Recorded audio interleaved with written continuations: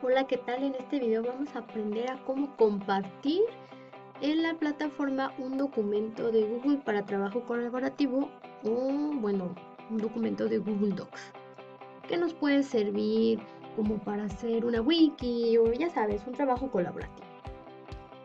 ¿Qué vamos a hacer? Primero vamos a crear, bueno, vamos a irnos, yo aquí ya lo tengo, pero vamos a crear otro. Nos vamos a ir a Google Drive y de ahí le vamos a dar nuevo y le vamos a dar documentos de Google. Entonces tú puedes poner aquí el nombre de, de tu, vamos a poner aquí wiki, ¿no? Que es un documento colaborativo y puedes poner instrucciones en esta carpeta, en este documento, elabora un ensayo colaborativo.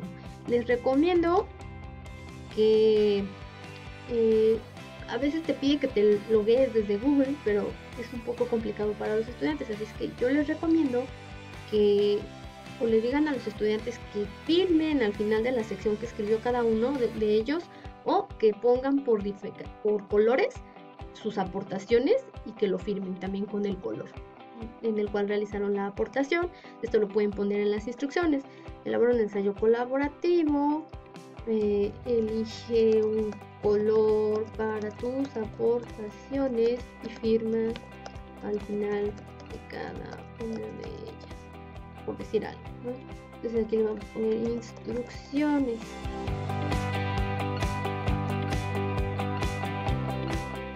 Entonces ya creamos nuestro documento, ya está creado nuestro documento en Google Docs. Y luego le vamos a dar aquí compartir, me va a pedir que le ponga un nombre, y voy a decir que sí, que se llame wiki. ¿Ok? Ya está, wiki. Entonces aquí dice compartir con otros.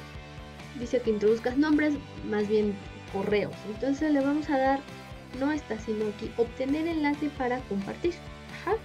Entonces dice cualquiera aquí, usuario con el enlace puede ver, voy a dar clic en esta pestaña, vamos a dar cualquier usuario con el enlace puede editar. Este paso es súper importante porque de ello depende que sea colaborativo o no. Entonces, vamos a darle listo. Y paso importante, ya puede editar, le vamos a dar copiar enlace. Listo. Y ahora sí, nos vamos a ir, ya que tenemos ese enlace copiado, a la plataforma y bueno, yo estoy trabajando, como, como se acordarán, en este módulo que cree que dice ejemplos de contenidos y actividades. Eh, les recuerdo que siempre tienen que poner estas actividades en modulitos y en bloques para que les dé esta opción de para agregar contenidos, ¿ok?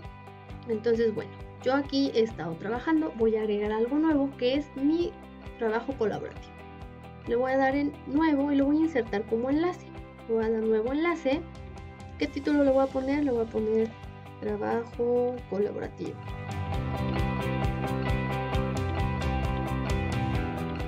Voy a copiar la dirección que me dio Google y lo pongo, mm, le dejo en blanco este de abrir como recurso externo para que me lo abra en la plataforma. Le doy crear. Ya se creó y nos va a aparecer de esta forma. Bueno, aquí yo lo estoy editando. Pero vamos a intentar editar con otro usuario.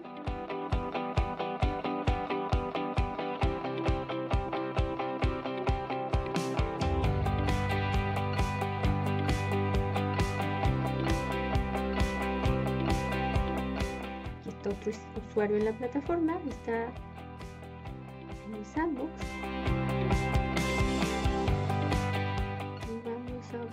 la actividad. Trabajo colaborativo, este usuario ya no soy yo que lo cree, es alguien más.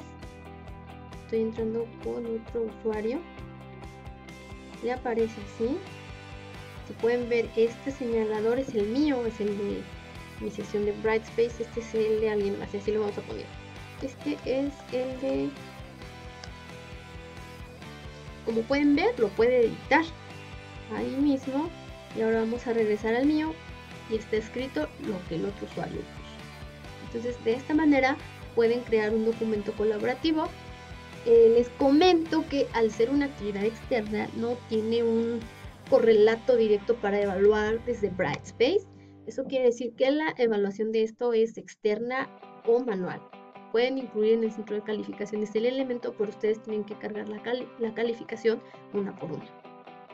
Entonces, eh, si tienen dudas al respecto, pues ya eh, se pueden contactar aquí con nosotros. Y bueno, esto fue como compartir un documento colaborativo en la plataforma. Espero que les haya sido de utilidad y finalmente vamos a ver cómo se ve. Se les ve así como un enlace. ¿Sale? Pues espero que les haya sido de mucha utilidad y hasta pronto.